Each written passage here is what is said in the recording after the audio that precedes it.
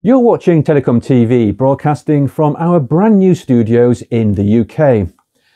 Cloud native communications company Metaswitch has just announced that its Access Gateway Function solution has been successfully tested by Vodafone. The solution is part of the new 5G wireless wireline convergence work aligned with both Broadband Forum and 3GPP specifications. Well, joining me now to explain the importance of the news is Martin Taylor, CTO at Metaswitch. Martin, glad to have you as the very first guest from our new studios. Um, can you start by, by explaining the, the importance of the news and, and what all this actually means? So the access gateway function is the, the, the key element in this uh, wireless wireline convergence uh, initiative, um, which has been worked out between the standards making bodies in the wireline access uh, industry. That's the Broadband Forum and Cable Labs, and the uh, and 3GPP, which uh, d- d- does standards for mobile and 5G. Uh, so the, the the idea here is that you can uh, essentially deliver broadband services from a 5G packet core to customers or subscribers on on wireline broadband access networks. That's GPON DSL, uh, you know, the various kinds of fiber to the hub, fiber to the curb, and so on. Uh, the, the, the, AGF essentially acts as a as, as, a glue element between the wireline access network and the 5G core. So it's it's it's kind of ad- adapting between the the, the, the, the, protocols that are in use in the two worlds. Uh, to the wireline access network, it presents a familiar interface. It looks like a broadband network gateway. The broadband forum V interface uh, is, a relevant access um, point. And then on the on the 5G side, it presents the familiar N3 interface, and that, that's the interface that a G node B, a radio 5G radio access base station would would present to the to, to the 5G core. And um, by this means, it, it, it, enables a 5G core to deliver broadband services to wireline subscribers over conventional wireline access networks, GPON, DSL, without the need for any kind of change in the customer equipment. So the we're talking about serving the installed base of residential uh, fixed network gateways that are out there, and but as I say, delivering the broadband service from the 5G packet core instead of from the broadband network gateway. And the idea is to uh, reduce the number of different technologies that the network operator has to have in their network and to enable network operators who offer both mobile and fixed broadband to manage their subscribers, the subscriber service policies, charging, analytics, all that kind of stuff out of a common uh, set of technologies, one stack, if you like, to serve all of their broadband subscribers. And at what point in the network does this convergence occur physically? So the idea is to preserve the existing uh, wireline access network up to the uh, the GPON optical line termination or the uh, DSL, the, the DSLAM, and to uh, sit, sit behind that instead of a broadband network gateway, this new thing called the access gateway function. So the access gateway function looks to the uh, wireline access network, you know, like a familiar broadband network gateway, the so-called broadband forum V interface. Um, but from the point of view of the 5G packet core, it looks like a radio access network. So it kind of emulates a, a G node B, which is a, a 5G a radio base station. Uh, so it's, it's, it's, it's a kind of interworking function, if you like. Um, and you know it, it, enables the rest of the 5G packet core to to operate in, in in an entirely standard way for the traffic from the wireline broadband access network to flow through the 5G user plane function, where all the standard 5G policy, charging, analytics kinds of functions can be applied. So that essentially the the identical set of services can be delivered to mobile subscribers as uh, wireline subscribers and, as I say, a common subscriber management backend. And is this function cloud native and does it fully take advantage of container deployment and um, orchestration via Kubernetes? So the, the, the, AGF that we have built uh, is very much an extension to our Fusion Core solution, uh, all of which is cloud native. Uh, and when I say cloud native, what I mean is, you know, we reflect the absolutely bang up to the minute uh, best practices of the web scale players, and that means containers, it means automation with Kubernetes, automatic deployment with Helm, instrumentation with, with Prometheus and Fluentd and, and, and those kinds of uh, cloud native packages. And we built the AGF in exactly the same way. Uh, it uses the same software packet processing technology that our UPF is based on.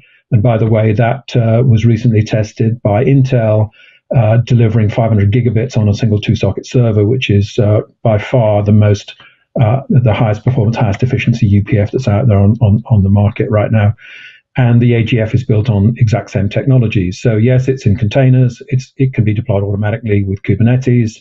Uh, it scales out um, elastically. It's N plus K fault tolerant. You know, it embodies all of those cloud native characteristics.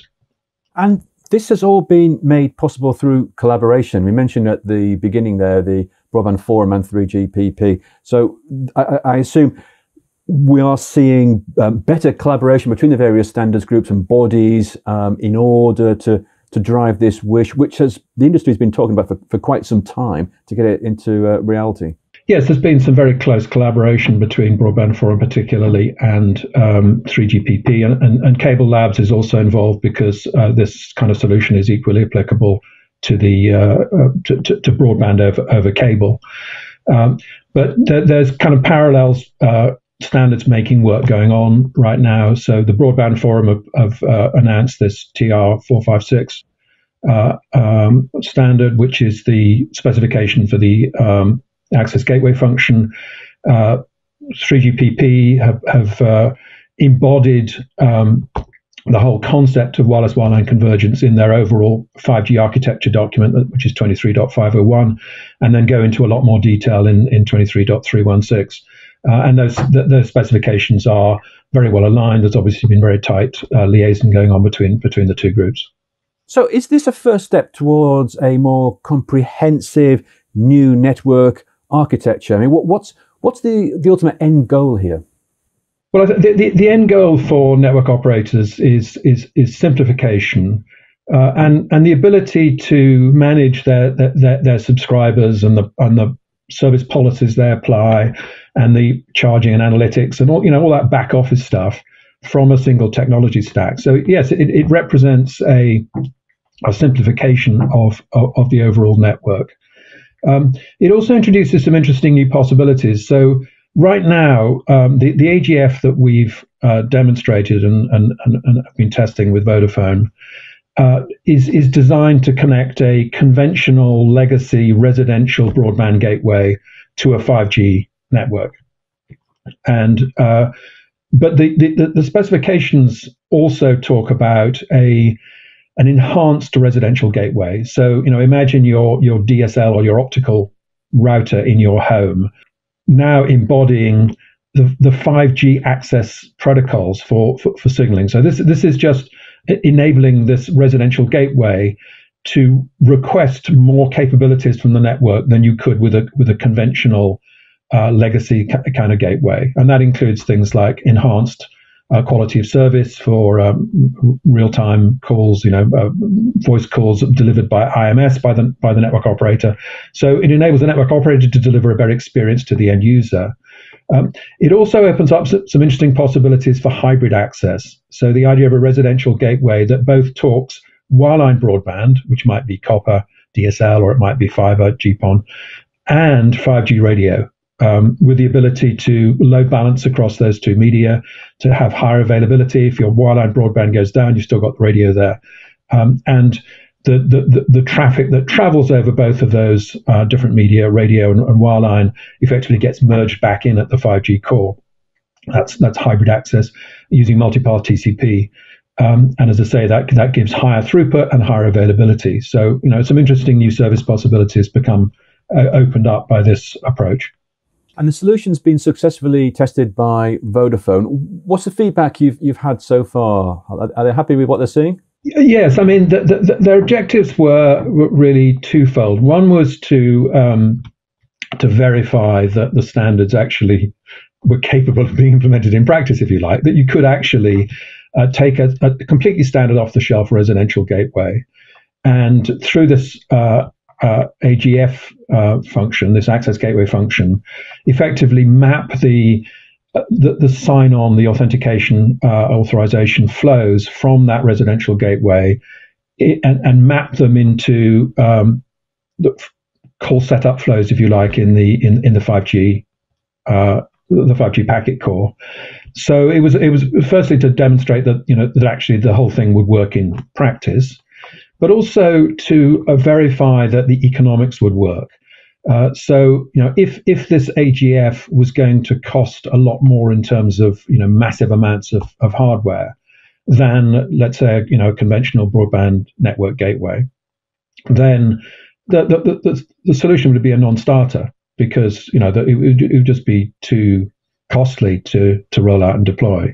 So one of the things they've been doing is to compare and contrast the wireless wireline converged solution with a virtualized broadband network gateway.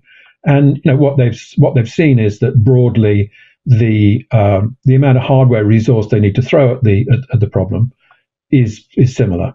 And so the you know they've verified that uh, the wireless wireline convergent solution is is a cost effective alternative to broadband network gateways. Martin, as always, thanks very much indeed for sharing your insights with us here on Telecom TV. Thank you very much. Pleasure.